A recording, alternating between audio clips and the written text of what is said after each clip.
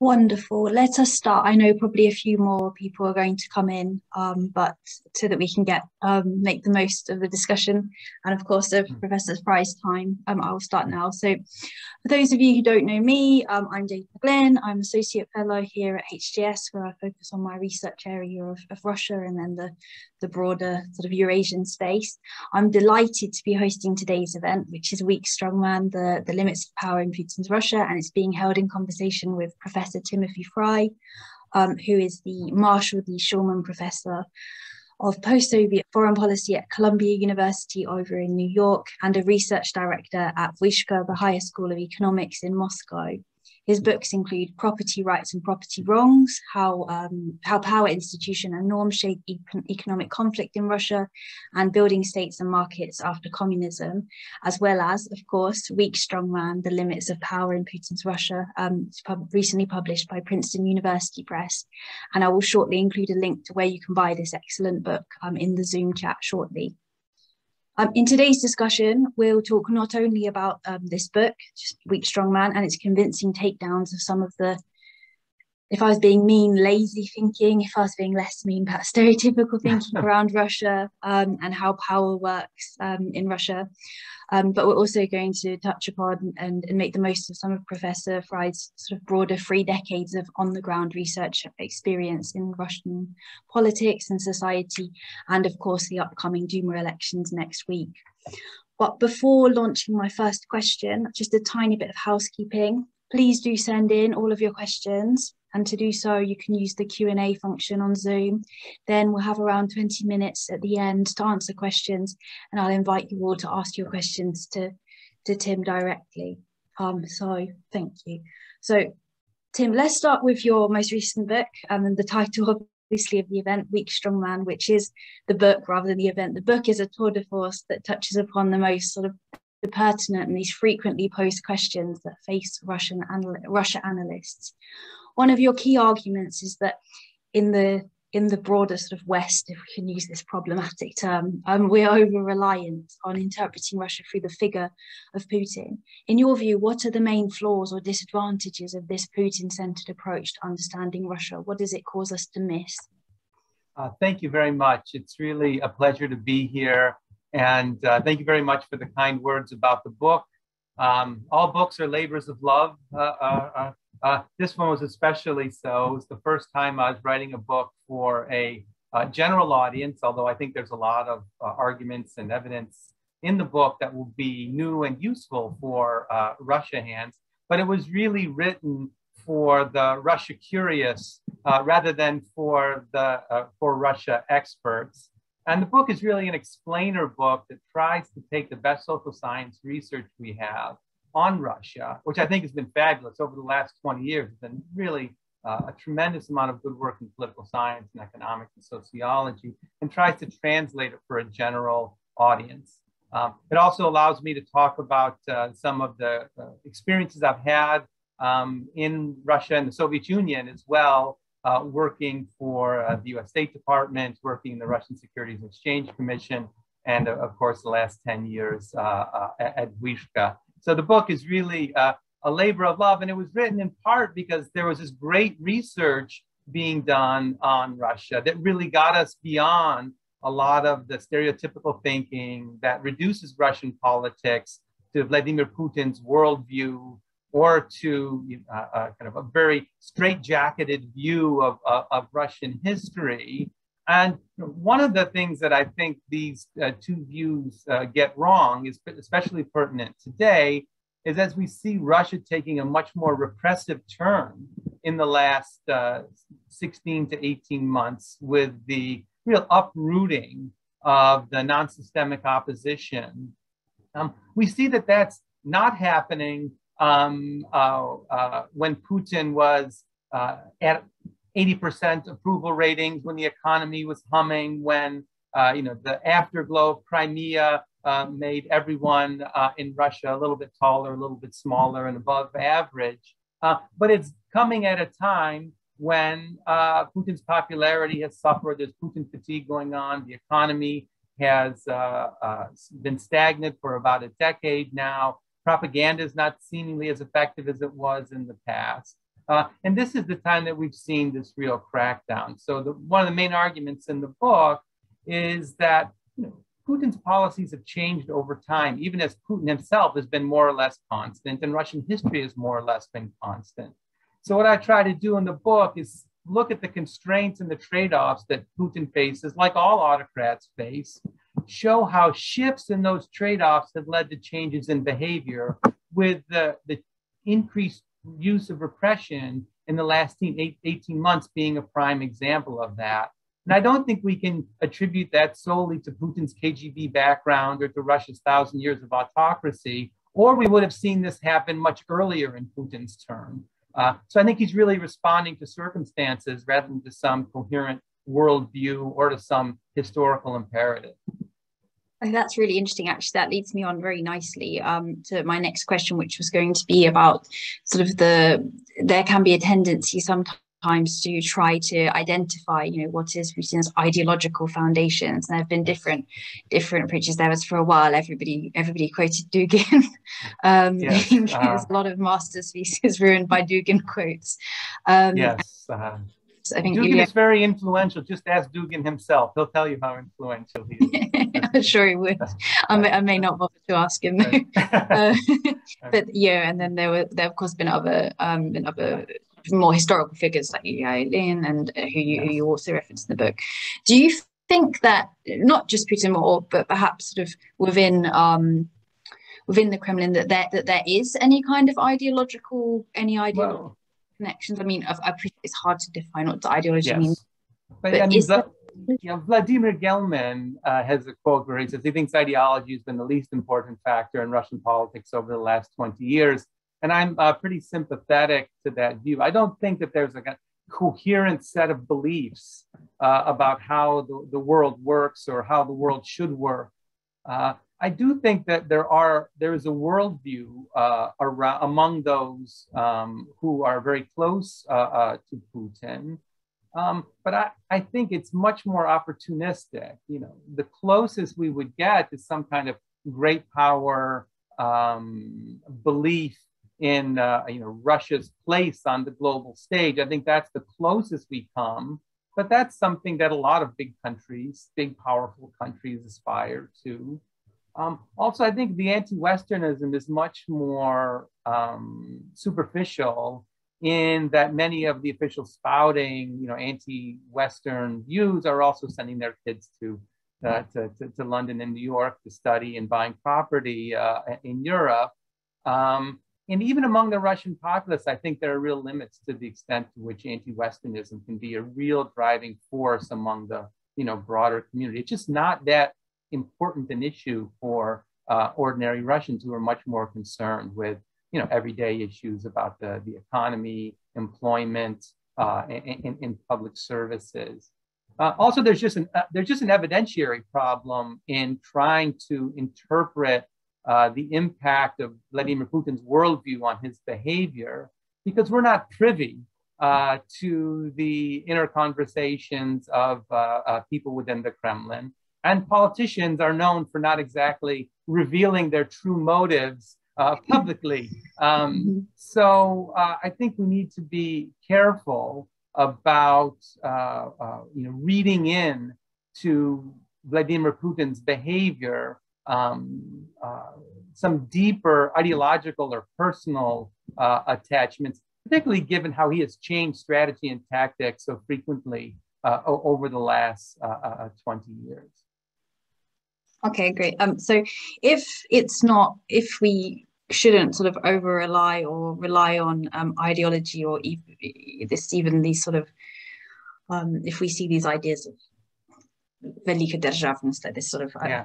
Russia is sort of a great, a great power, a great state, is something that, of course, isn't unique, as you say, is not unique to Russia, um, and and is certainly not not unique to Putin we can't really rely on these aspects and we can't really rely on saying oh well putin has a kgb background mm. just to explain i suppose russia's particularly russia's most recent autocratic turn mm. um, the one we're talking about sort of, um, over the last sort of 18 months and particularly maybe over the last sort of 10 months um, what what what is the best way to explain and understand shifts So in, in, the book, I try to draw on uh, comparative politics literature and research on modern autocracies.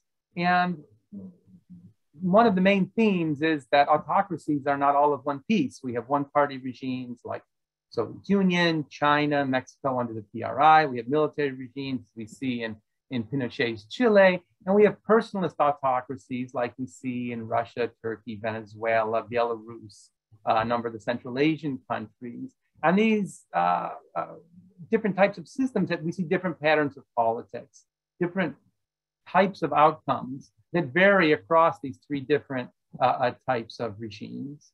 Uh, for example, you know, um, the, the, way in which power is uh, um, uh, changed, the way we see turnover in government changes a lot in these uh, three types of governments. Because in one party regimes, the leader can retire to the party. In military regimes, the leader can retire to the military and lead a comfortable life.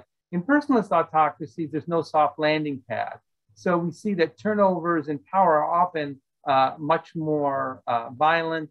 They are uh, much less likely to lead um, uh, to democracy. And the leader's fate uh, is often much worse in these personalist autocracies, um, with the main outcomes typically being jail, exile, or death. Now, I'm not saying that that's happening to Putin or that's happening anytime soon, but it does underlie how um, this, this type of autocracy um, faces a particularly difficult challenge when uh, presidents face term limits, and that's why they often uh, uh, try to extend them. But I think a better way to think about Putin is that he faces two, two different constituencies that he needs to uh, satisfy to some degree. He needs to satisfy his inner circle by rewarding them and preventing them from engaging in a coup, which is, uh, of course, one threat for autocratic leaders. At the same time, he also needs to ensure that the people don't take to the streets and protest, which is another way that autocratic leaders can lose power.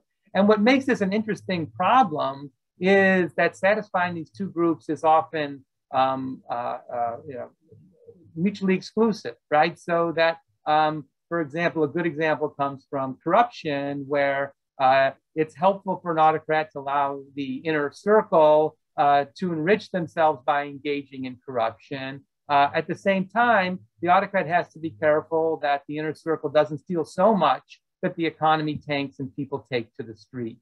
So what the book does is it goes through a variety of different policy areas and it emphasizes that although Putin faces you know, no open, direct political competitor, he does face these difficult trade-offs and he's far from omnipotent um, because these two, satisfying these two groups um, often involves a difficult trade-off.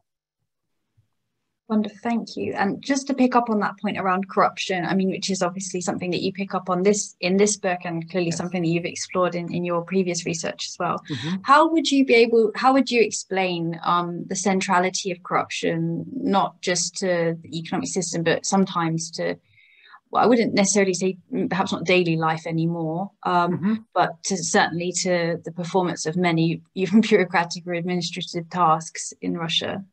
Yeah, I mean, corruption is a is a central tool for uh, autocrats to use because they have the, the power to intervene in the economy in ways that helps them politically.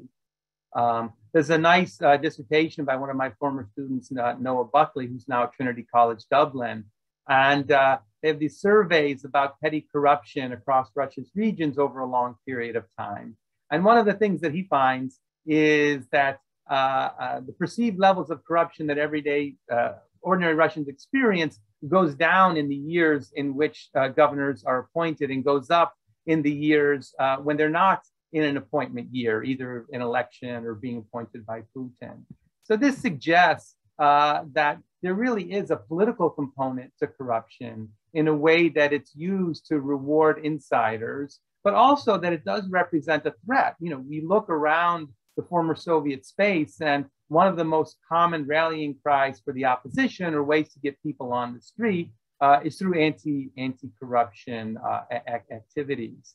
So I'm not a big fan of, of the kleptocracy brand, in part because I think there's just a lot more that uh, that the inner circle could steal, um, and that there is this constraint of needing to provide a uh, standard of living in Russia that keeps people uh, from being too disgruntled and, too, and, and, and, taking to the streets because there's a lot of evidence that Vladimir Putin's uh, popularity ratings are linked uh, uh, to the underlying economic conditions in the country.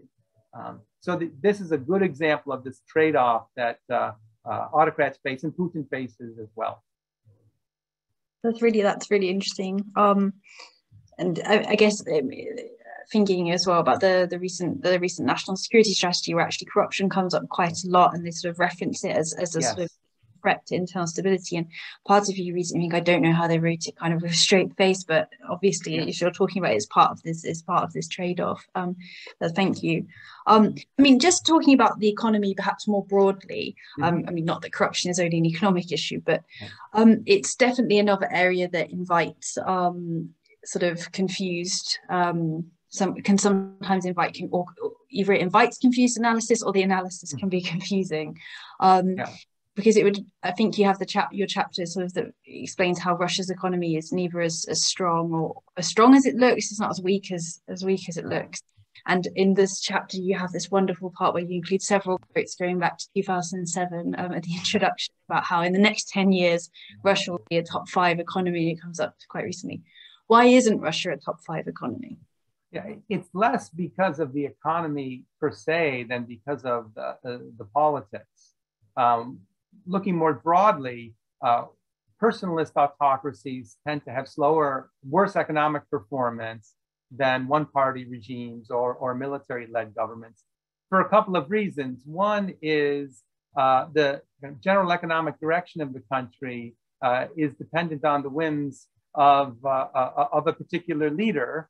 And uh, you know, should that leader change their mind or, or lose office, there is this deep structural uncertainty that these kinds of uh, regimes generate uh, about uh, you know uh, long-term economic investment. It becomes uh, risky given that you know politics is not rooted in a broader set of, of institutional constraints on a leader that would prevent them from taking the court, the country in a different directions. And you know we've seen Putin's economic policy evolve. You know the this first three or four years in office, you know, the Gaidars, the Chubaises, and the liberals were very happy uh, with the um, anti um, red tape campaign, with uh, banking reform, pension reform, uh, and, and uh, other policies.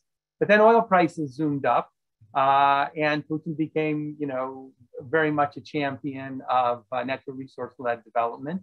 Oil prices fell, and then he became a champion of state-led development.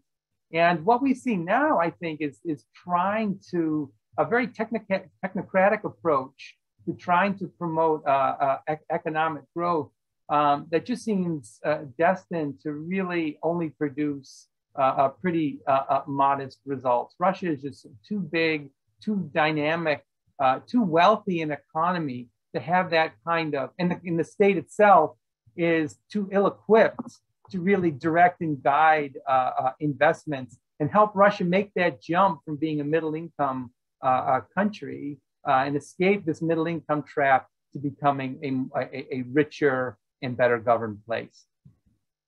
Do you realistically see any kind of pathway out of that approach? Like what would what might it take to change that economic I mean, back liberal one or? I mean one big if there was a prolonged uh, a shock in natural resource prices that deprived the kremlin of the revenue that it would be needed in order to keep the inner circle happy while also providing sufficient public goods to keep the, the public off the street. That might um, that might be the kind of uh, um, event uh, that would push the Kremlin towards uh, putting greater weight on efficiency versus political considerations when it doles out uh, uh, the budget. Now, that doesn't seem to be happening uh, uh, in the near term, and also the Kremlin still has uh, you know plenty of reserves in the various national wealth funds. So you know I, I don't see that happening. Um, and I, one of the interesting things, this is both a political and an economic question, is how much resources have been devoted to developing Moscow uh, versus the rest of the country. And this again is a common autocratic strategy of urban bias where you try to really buy off uh, the residents of the capital city uh, because they are in some ways the you know most direct political threat. Like a, a, a um, protest in the capital city has really different weight than a protest in you know uh, uh, outside of the, the capital. And you know we see Moscow in many ways has been a real showcase uh, for um, for Russia. Uh, in a lot of ways, it's become a, an easier and more pleasant place to live as long as you're staying out of, uh, of politics. And that's you know part of the strategy. At the same time, it's not great for economic development because that's not where most of most Russians live. And there's mm-hmm. lots of par- lots of parts of Russia that are really suffering from uh, uh, uh misgovernance and an, and an under uh, provision of public goods. Mm-hmm. No, it's it's true. There's a market, sort of market improvements every time you go. You sort of go back to Moscow, in, especially within that sort of. It does tend yes. to peter out once you go past sort of the Paveletskaya, yeah, which right. go further south. You're like, okay, no, this is. I remember this Moscow. That's right. That's right. Um, wonderful. And just one of the comments that can, can sort of feature a sort of argument that features sometimes um, to bring the, the political and the, the, economic back together. One of the comments that features sometimes is the notion, well, you know, this Russia only has a GDP, um, or Russia has a GDP the size of Italy, so you know it can't be this great, this superpower. Do what do you think about a comment like that? What? Well, it, it's to, to directly equate country wealth with uh, global power status is a very tricky thing to do. Norway uh, would clearly be, uh, if the GDP per capita is really the prime indicator, uh, then we should all be worried about Norway's global uh, position. Or if North Korea, another an ec- complete economic basket case, but one that certainly punches above its weight on the international stage simply because of its erratic behavior uh, and its uh, nuclear program. So there are many considerations that go into um, uh, you know global power, and Russia in some ways is very well endowed. Uh, you know, my colleague uh, uh, Steve Sestanovich often says, you know, people say that Putin is playing a weak hand well, but he says no, actually Russia's got a pretty good hand. If you look at their geography, for example, if you look at the nuclear weapons that they inherited from the Soviet Union, the the seat at the, the United Nations, and it is still a you know big well a big economy, and it is uh, you know well educated public. Uh, so um, you know on a lot of dimensions, uh, you know Russia can really be um, an important player, a global power. Um, not quite a superpower on the level of say the United States or you know China as it as it grows, um, but it, it's it's an important country and and and will uh, uh, will remain one. And we should also bear in mind, you know, Thomas Schelling's famous adage that uh, uh in international politics, um, it's very important to remember that it's it's much easier to break things than to create them. Uh, and Russia is very much in a position to play a spoiler role on lots of issues, from uh, North Korea to relations with China, to the Iran, to Iran, uh, let alone to you know relations with NATO and you know up and down the whole uh, uh, Western Front. Um, so you know uh, we often overstate how uh, badly the Russian economy uh, is doing. And when we look at the numbers, it's not as bad as, as people say. And we need to remember that you know power in an international arena is really multidimensional. Mm-hmm. Thank you. Um, this is just a quick reminder to the audience to put in your questions in the in the Q and A function. Um, and now I would like us to move on, if it's possible, Tim, to questions to the elections, to the upcoming election. Oh, sure, yeah. Um, one of your chapters is in the book is, is titled "The Surprising Importance of Russia's Manipulated Elections." If we think about next week's elections, they're going to be falsified. Everybody's going to know. so why hold the elections? What's what's the point? Sure. So there, there's a debate in the literature about uh, autocratic elections where uh, you know, some people argue that autocrats actually like holding elections because it allows them to divide the opposition and pit them against themselves. And it allows them to reward uh, opposition elites by giving them a seat in parliament with a nice apartment in Moscow and a uh, you know a car with a driver paid for by the state and, and, and other kinds of, uh, of perks you know, other people argue that you know elections are really a uh, a potential threat, particularly because election fraud has been a com- common kind of focal point that opposition parties have used in many countries post-election um, to try to you know, overturn what is seen as a fraudulent election, Belarus being you know, the most recent and most uh, uh, relevant example. Uh, you know, for a long time, when Putin was very popular, the economy was booming uh, after the annexation of Crimea, uh, the need to falsify the elections was uh, much less, in part because there was greater popular support. Um, and the Kremlin could claim in some ways that they had gained, you know, if not an honest majority, certainly an honest plurality um, uh, uh, uh of votes. Uh, but now uh, in 2021, we see United Russia is at its lowest levels um, of popularity you know, the economy has been stagnant for a long time. The handling of coronavirus has been really quite mixed. Um, and, uh, you know, the, the warm glow of Crimea has certainly faded.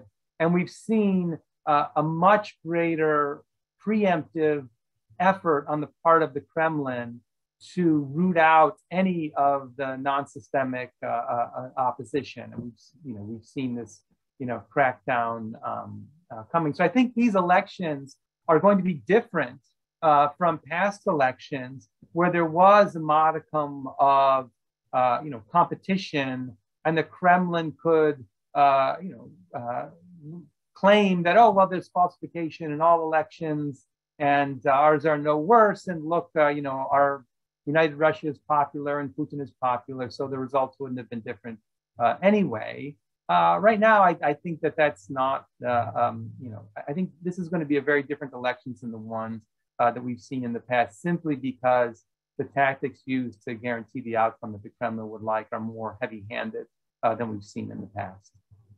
I see, I see. And in terms of, I mean, hopefully this isn't too specific a question. Hmm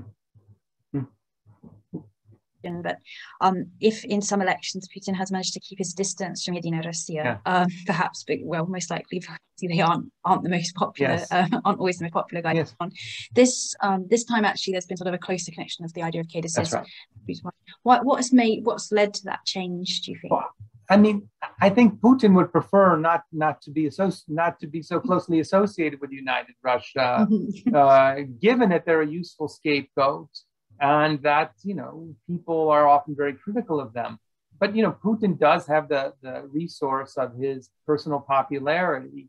And uh, you know he can be the locomotive trying to pull along united russia you know to eke out more uh, votes. And you know i've talked before about the, the trade-offs of being a, uh, uh a personalist autocrat. And elections highlight this very well because the trick is you know, to manipulate elections sufficiently that you guarantee uh, the outcome that you would like, but you also uh, run the risk of manipulating them too much, in which case they reveal, you know, the great weakness um, that's the, that comes when you have when you have to devote so many resources uh, uh, uh to falsification. And Belarus is a good example where it was simply implausible uh, that Lukashenko could have won 82% of, of the vote, and that caused this reaction a reaction that the Kremlin, I think, would really like to avoid. Mm-hmm, mm-hmm. I think, I mean, and obviously, I think it, that it struck everybody just how implausible um, Lukashenko is. He really was sort of taking the biscuit. Um. In in general, um, Putin and Russia have been a little bit more subtle in their implausibility. Yes. Um, mm-hmm in but of course one of the things that they seem to care about a lot is high turnout or reasonably high turnout around that 70% mark. Uh, what are some of the different ways why do they care about it and how sure. do they achieve this? Sure. So uh, you know there are a lot of russians who believe that their elections are free and fair. Um, you know th- this is not a uniform opinion that the, uh, the elections are completely falsified. If you look at some of the survey data you know there are you know not majorities certainly but uh, you know pluralities who are willing to say that well, you know, our elections are more, are more or less free and fair, and every country, you know, has problems with their elections. And this is a line that the Kremlin, you know, certainly likes to um, uh, likes to promote. And you know, it is a demonstration of strength if you are able to get people to turn out without coercion, um, without uh, you know a very heavy hand, um, as a way for Putin to demonstrate that you know he still has um, the ability to you know get people to take the costly action of uh, actually going uh, going to vote. And this is important not only for uh, demonstrating to the populace that you know he still has sufficient authority to bring about this outcome, but it's also important to send a, sim, sim, sim, a signal to the uh, inner circle that you know what continues to separate Putin from everybody else is that he has this great personal popularity that no other politician in Russia can really claim.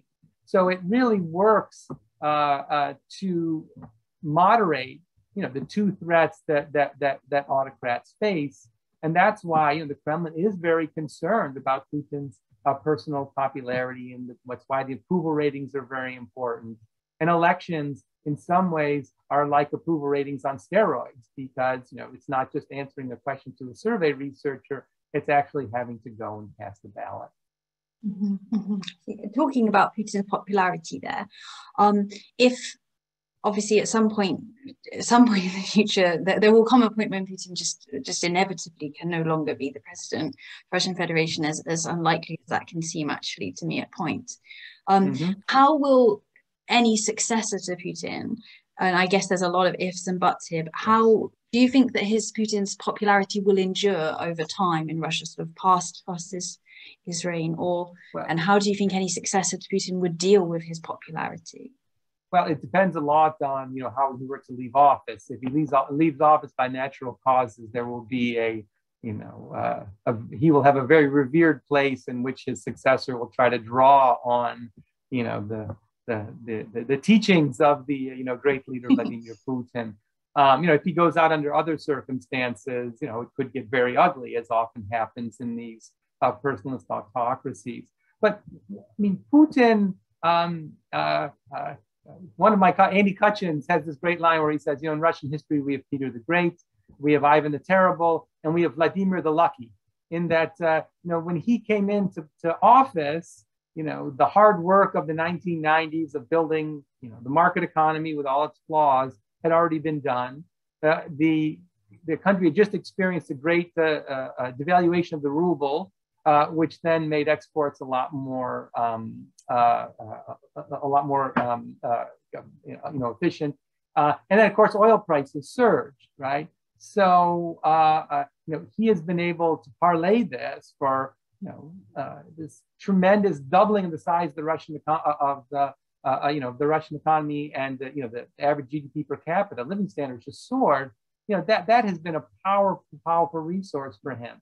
The annexation of Crimea, again, is the second event.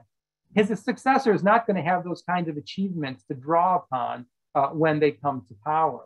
So if the, the, the uh, change in power happens, you know, during a time when the economy has been muddling along and Russia's global position, you know, continues to be, uh, you know, what it is, uh, um, it would be very difficult, I think, for Putin just to anoint a successor who would then experience the same kinds of popularity that Putin has.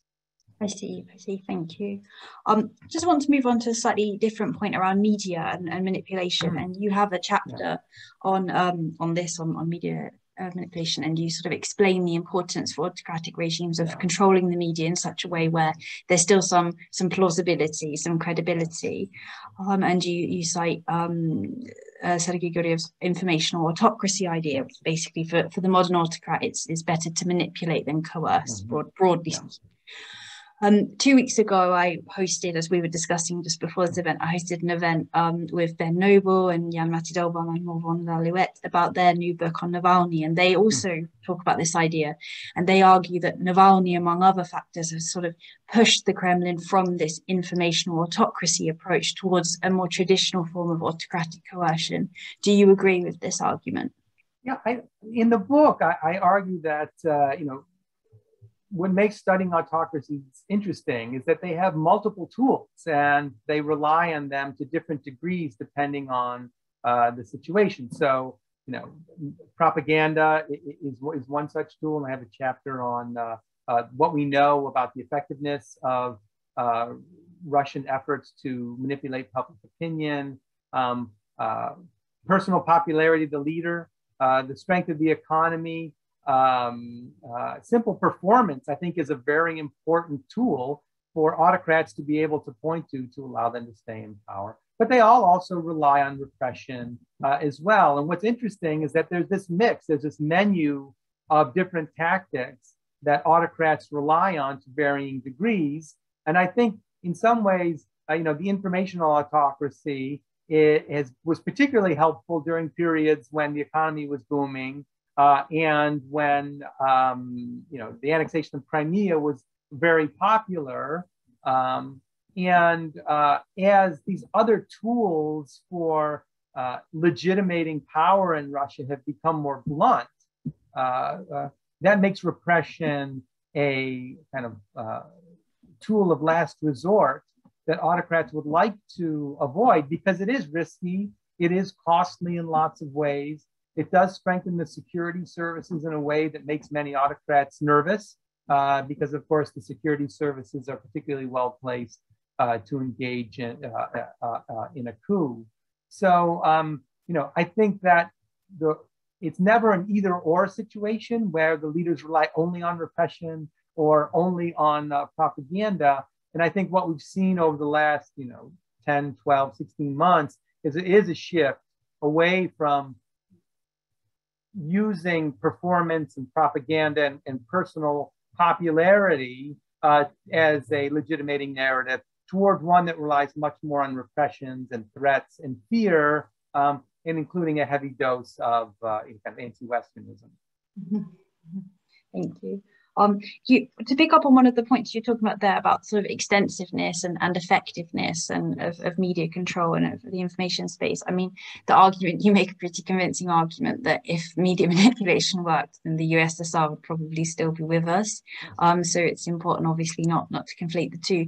But I would yeah. be really interested in hearing, um, or I think our audience would be really interested in hearing as well, um, your thoughts perhaps on some of those who who have focused on the effectiveness of Russian sort of media or, or disinformation campaigns. So, like the mm-hmm. idea that the Trump vote was was swayed by Russian right. interference, or or the, indeed the Brexit vote here in, in the UK. Yes. yes. So I have a, a you know a ch- one chapter that looks at uh, media manipulation within Russia, and one of the takeaways there is that it really depends on the kinds of issues you're looking at. The ability to, of the Russian government to shift uh, public opinion um, on economic issues is much more limited than it is on foreign policy issues. So uh, the Kremlin has tried to blame bad economic performance on the sanctions, on factors unrelated uh, uh to Putin. And that strategy, I don't think, has been uh, particularly successful if you look at some of the uh, academic research. Whereas on low information issues and foreign policy in issues tend to be low information issues, you know, the Kremlin, like all, um, uh, uh, uh you know, ruling parties, uh, uh, has greater leeway to sway public opinion on these low information issues. And on the, the disinformation, um, I haven't studied the, the, the, Brexit case as well, but if you look at the academic literature on, you know, the Trump vote, um, you know, most of the, the people who study elections seriously are pretty skeptical uh, that it had a, a, big impact, in part just because the scale of Russia's operations on social media were so small relative to the entire sea of information um, about uh, the elections, and that much of the Russian disinformation campaign was simply repeating themes that were popular, particularly among far right pro Trump voters. Um, so whether or not that, you know, that was an independent factor, whether they're just piggybacking on, uh, you know, domestic sources of disinformation, um, I think is, is, is difficult, um, uh, difficult to judge. You know, the, the greater threat on the elections is the hack and dump operations, which the, the Kremlin did um, towards the Dem Democratic National Committee, which played on some of Clinton's uh, weaknesses.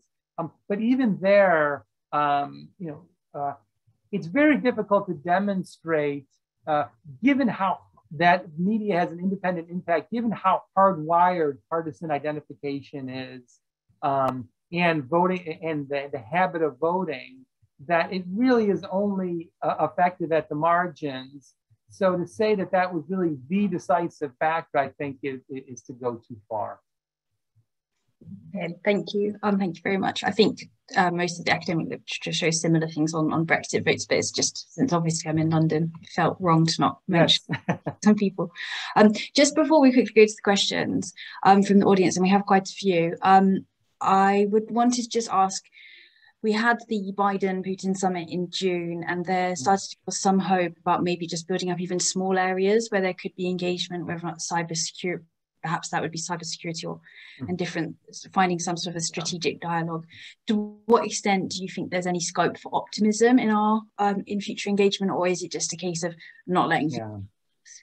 Well, what what is to my mind, what has been uh, most dismaying is that even both sides have been reluctant to uh, even begin to build the infrastructure necessary to begin holding talks uh, uh, about um, you know potential areas of cooperation.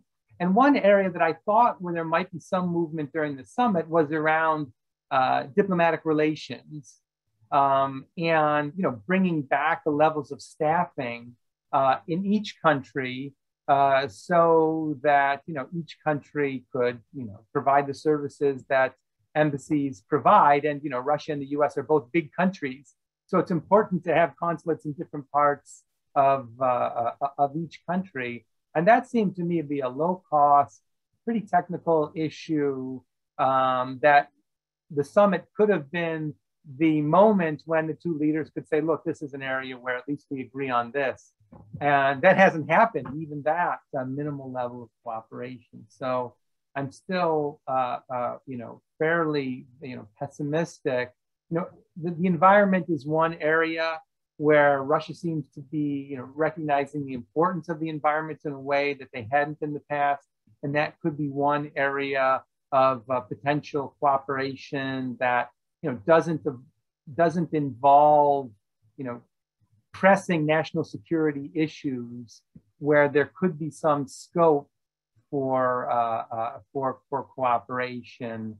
Um, I think it's also important to point out if you look at public opinion polling in Russia and the US about the desire for better relations, you know, there's still sizable pluralities in both countries that would like to see better relations for all of the uh, skepticism that is, you know, deeply rooted on both sides. Um, you know, you know, if we look at, for example, at Russian public opinion towards the U.S., it tends to follow events in a reasonable way rather than being inherently anti-Western. So it goes up and relations are better, and it goes down when relations are, are, are not so good. Mm-hmm, mm-hmm. Thank you. That's very that's a very thorough and comprehensive answer. And on that, I should really hand over um, to the audience because they also have plenty of questions. So because there's quite a few questions, what I'm going to do, Tim, is I'm going to ask three people to sure. ask their questions after each other, and then you can take them. And I've, I'll do my I vaguely I vaguely tried to group them.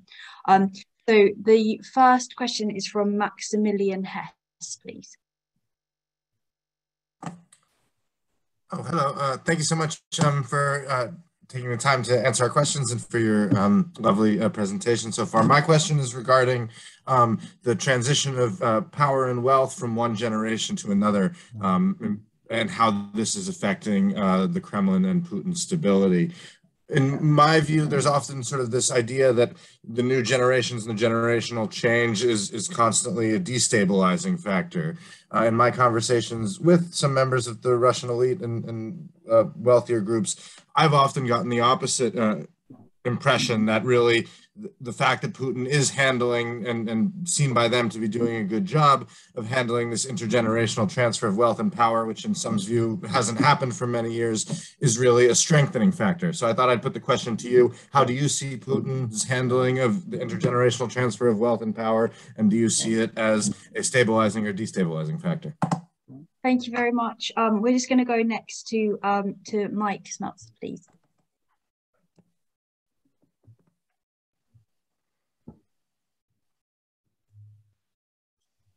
Mike? No, I'll read out Mike's question. Okay. Um, so um, the question is, um, I'm wondering if Dr. Frye could speak, Professor Frye could speak a bit about how this notion of Putin as a weak, strong man fits into the current developments we're seeing in Russia right now, um, and the dropping of the pretense to be a managed democracy. And then the third question um, comes from Simon. I only have Simon J. I'm sorry, I don't know.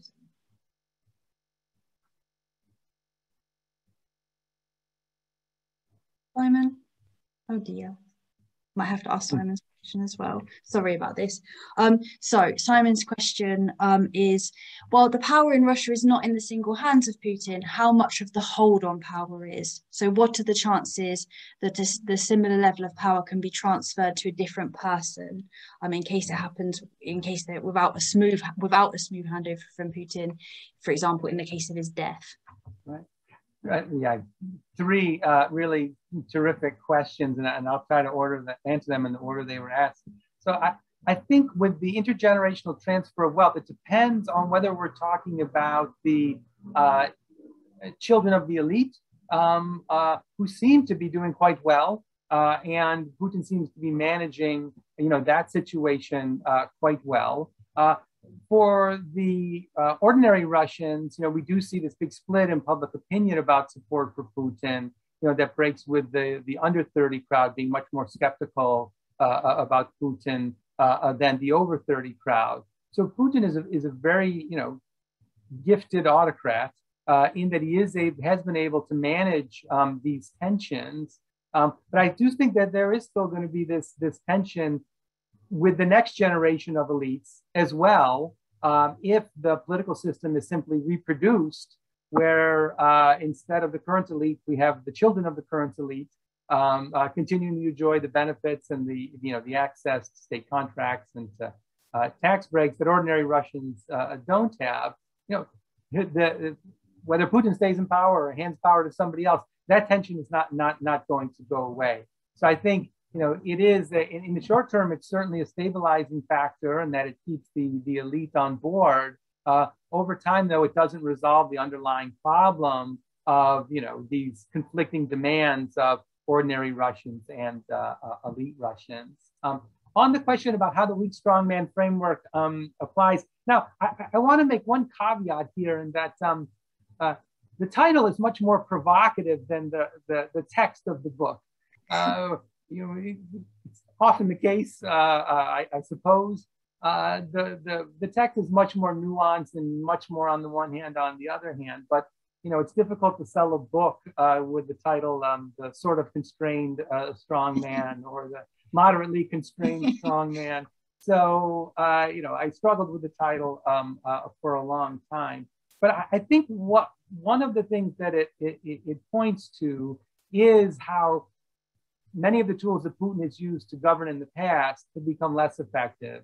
And now he's turning to a more restrictive strategy with a greater reliance on um, repression. And one point I make in the book is that this doesn't necessarily mean that Putin is more likely to fall from power because he is relying on repression more now. These other tools are uh, less effective. We've seen leaders like Lukashenko uh, and other leaders in the region stay in power for long periods of time without providing uh, you know, big increases in uh, standard of living or foreign policy successes, and with a heavy dose of repression. And if we look at Putin's time in office, um, it's about par for the course for the region at this point. You know, Lukashenko has been in power longer. Nazarbayev was in power longer. You know, other leaders have stayed in power for long periods of time, and it was only their untimely deaths that uh, uh that brought them down. So, um, you know, just because Putin is relying more on repression doesn't necessarily mean that uh, he's, he's likely to fall from power soon, but it does mean that the main mode of legitimating his rule has shifted, I think, in the last, um, uh, in, in the last year. Um, and again, uh, I think in, in, terms of the ability to, to transfer power um, in these types of personalist regimes is actually pretty limited. You know, Nazarbayev seems to have been successful so far uh, in stepping down and you know not facing jail, exile, or death, which is a common uh, fate for these um, uh, uh personalist autocrats. But even Putin himself, in defending why it was necessary to change the constitution, something he had been reluctant to do um, to allow him to stay in office after 2024. Even he pointed to infighting among the elite as kind of one reason why it was important to maintain the stability, the hard-earned stability, as Putin often says, of, uh, uh, uh of, of uh, keeping him in power. So if we think comparatively, it, the ability to transfer power in these types of regimes is often uh, quite limited. Mm-hmm, mm-hmm. Thank you very much. I'm just going to take now go to our next three questions. Um, so they're a little bit more focused towards foreign policy, or at least mm. it. Yes. Um, so the first question comes from, um, although actually has two questions, uh, Magnus Bergman.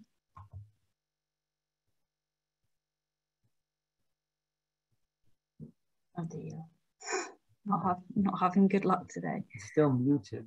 Okay, I'm going to, yeah, I'm going to just read this. I'll just read the questions. Let's not waste any time. But um, in your opinion, um, Professor Frye, were the Russian military deployments in recent years, so Georgia, Crimea, the little green men in, in eastern Ukraine, and mm-hmm. of course Crimea, uh, likely designed more to shore up internal support of the Putin regime within Russia or to affect Russia's international standing? Um, the next question comes from Gary. I'll see if, if Gary want, can answer it, but if not, I'll just go quickly see it myself. Gary Ryan. Hello? Hello. Hello. Thank you very much, uh, uh, Dr. Jade, for letting me uh, ask the question. And thank you, uh, Dr. Frye. I was wondering if you could um, look inside the Biden uh, Putin uh, talks and uh, maybe tell us what you think was uh, asked and said. Wonderful. Thank you very Thank much. you. And then the third question um, comes from Robin Ashby. Um, Robin, if, if you're there. Please. Yes, uh, thank you, doctors both. Um, how worried should neighbours west of Russia be uh, that internal weaknesses uh, and economic failure could lead Putin to external adventures to reinforce his credentials as the strong, unassailable national leader? Thank you very much. Um, thank you. Tim, over to you. Fantastic. Thank you very much. The, the foreign policy chapter in the book was the most difficult to write, in part because uh, Russia is a pretty unusual autocracy when it comes to foreign policy, given its huge global footprint that most autocracies don't have. You know, we can talk about uh, comparative uh, election manipulation and media manipulation, corruption in the economy is pretty common across autocracies.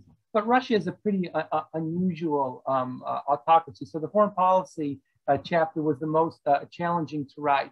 On um, uh, whether or not the moves in Georgia, uh, uh, Crimea, Syria um, were driven by domestic or international factors. Um, first of all, I, I, think it's we often lump these three together as if they're all driven by the same things, um, and they're often you know just a, a, kind of tagline.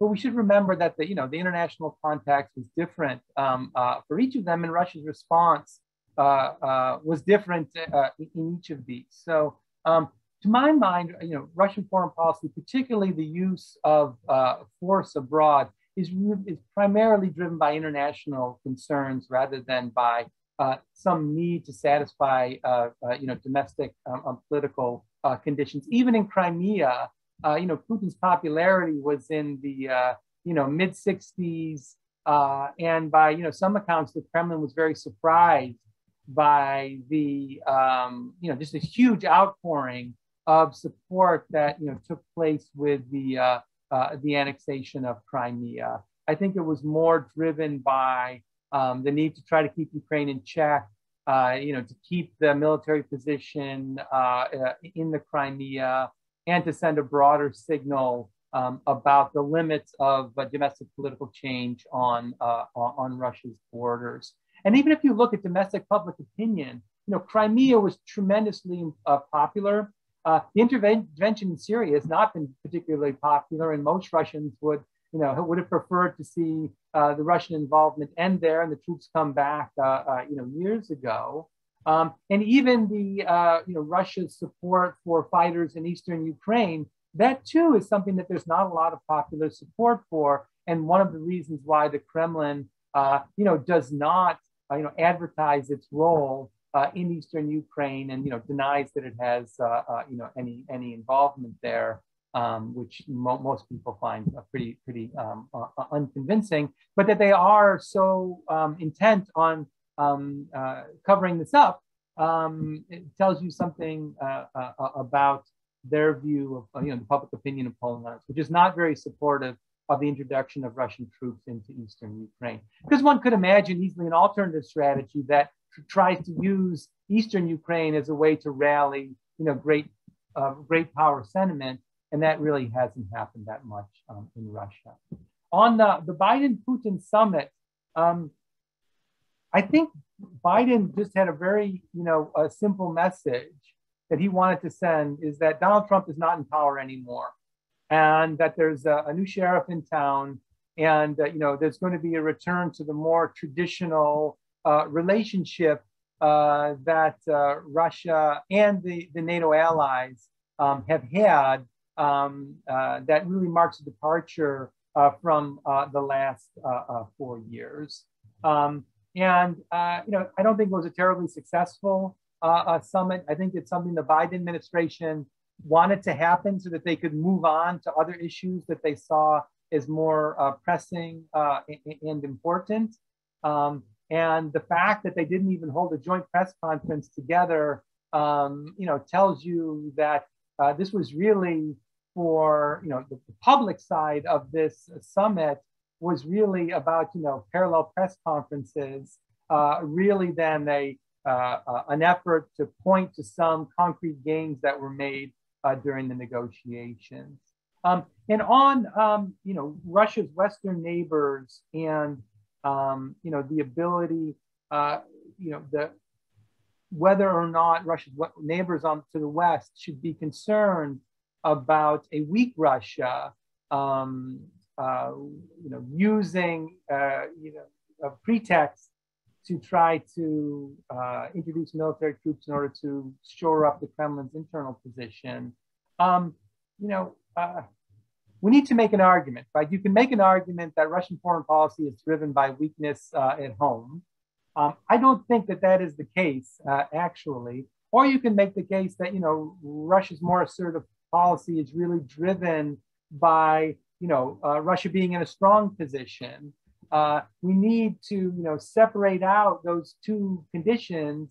And if we look, there's not really clear evidence that, you know, Putin's position at home, um, whether it's strong or weak, really has a big impact on foreign policy. If we look at, say, Georgia, Ukraine, Syria, um, you know, Putin was at his, you know, near uh, summit of his height uh, even if you've been, you know, relegated to the role of prime minister in 2008 in Georgia. Um, he was at, you know, a middling level in of popularity in the during the annexation of Crimea, and his popularity was at its highest ratings when, you know, the annexation of uh, or the the introduction of Russian troops into Syria happened. So this it's hard to draw a clear case that you know domestic weakness or domestic strength maps easily onto foreign policy decisions made by Russia. Thank you so much. Um, thank you so much, Tim. I feel like we've had a really wide-ranging discussion there, and thank you so much to the audience yeah. for some really some really yeah. wide-ranging questions as well. I'm afraid we have to end it there. There are a few more questions. I'm hmm. sorry that we, we didn't manage to get around to them, but thank you to the audience for coming, for listening, for putting questions, and thank you so much, Tim, for, for answering these questions so masterfully. thank you very much. As I mentioned, you know, all books are labors. This one was a labor of love. So, uh, you know, I, I really enjoy uh, talking about it. And I'm not surprised that the discussion was wide ranging because the book itself does try to cover uh, an awful lot of academic research on, uh, you know, a broad range of topics. So um, I hope people will uh, enjoy the book, and uh, you know, I, I, really enjoyed writing it. Oh yeah, I enjoyed reading it, and I think any, I think the audience would as well. The link is in the chat, just as a reminder. You can buy it from Princeton University Press, um, as well as you can find it on on their website. Um, thank you to everybody, and um, and goodbye. Thank you very much. Bye.